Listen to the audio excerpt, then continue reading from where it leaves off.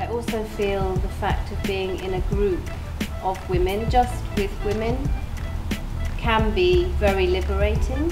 So my idea is not just the classes but also performance projects, coming together and presenting it on stage. Yes, it's quite a big step from just coming to a dance class to being on the stage, but uh, working together in a team is so powerful.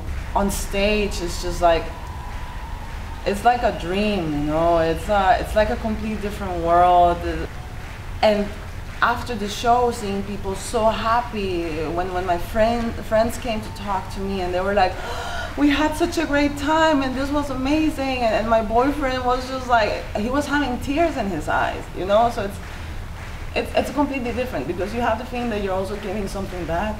So it's it's beautiful.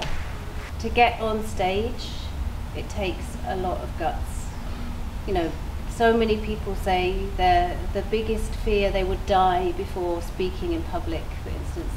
Probably a lot of people would say i would die before going on stage and dancing and but I mean you know well done. All those women who stood there and performed shown what they've been working on they're not hiding anything.